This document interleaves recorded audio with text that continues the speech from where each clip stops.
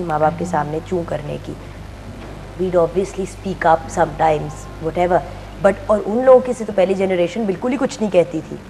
Times have change आप देखें exposure कितना हो गया। If you see there a lot of exposure हमारी वो मॉरल वैल्यूज़ भी नहीं रही the family systems have changed so if